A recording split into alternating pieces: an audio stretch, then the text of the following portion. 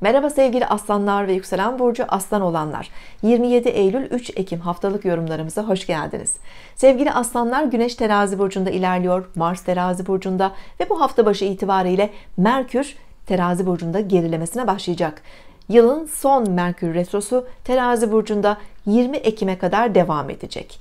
Evet günlük hayatımızda iletişim sorunları biraz böyle yavaşlamalar zihinsel anlamda duraklamalar söz konusu olabilir ama terazi sizin için dost bir burç. Bu nedenle çok zorlayıcı olacağını düşünmüyorum bu retro döneminin. Hatta bazı ilginç fırsatlar da getirebilir size. Pazartesi ve salı ay ikizler burcunda olacak.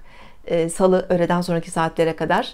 İkizlerde Merkür'ün yönettiği bir burç. Dolayısıyla pazartesi ve salı bu günlük hayatımızdaki yavaşlamayı, duraklamayı biraz hissedebiliriz. İlginç bazı fırsatlar da gelebilir etrafınızdan özellikle sosyal hayatınızla ilgili haberler gelebilir. Mesela uzun süredir görmediğiniz bir okul arkadaşınız, bir iş arkadaşınız size mesaj atabilir, arayabilir. Bir ortamda karşılaşabilirsiniz. Yani bunlar tesadüftür ama tam Merkür Retrosu'nun tesirleridir. Hatta bu karşılaşmalar belki yarım kalmış bir şeyleri canlandırabilir. İlginç bazı hareketler olabilir hayatınızda. Ee, ve üçüncü evinizde bir e, geçiş var. Burası iletişim evi, aynı zamanda eğitim alanı, aynı zamanda seyahatler alanı.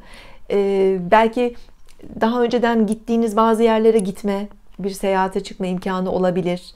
Yarım kalmış bir eğitimi tamamlama imkanı olabilir.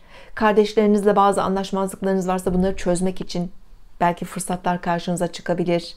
Ee, ve size bazı hoş nostaljik sürprizler getirebilir bu retro süreci. Salı akşamı ay yengece geçecek. Ee, ve iki buçuk gün Cuma gününe kadar Ay Yengeç burcunda olacak. Aynı zamanda son dördün fazında olacak. Biraz Güneş Ay arasında da kare açı etkin. O yüzden Çarşamba ve Perşembe günleri duygusal anlamda biraz daha kırılgan olabilirsiniz. Biraz alıngan olabilirsiniz. Hem aile ilişkileri hem yakın çevre ilişkileriniz ya da iş ortamınızdaki ilişkilere dikkat edin. Ee, Merkür Retrosu da biraz anlaşmazlıklara zemin hazırlayabilir çünkü ya da e, iletişimde bazı böyle karışıklıklar olabilir. Bunlara dikkat edin. Daha önceden planladığınız bazı seyahatler ya da randevular ertelenebilir, gecikebilir. E, bunlara böyle duygusal ve e, duygusal dürtüsel tepkiler vermemek gerekiyor. Biraz daha belki e, bir yani B planınız olsun. Biraz daha esnek davranmakta fayda var bu hafta ortasında. Cuma'dan itibaren Ay burcunuza geçecek.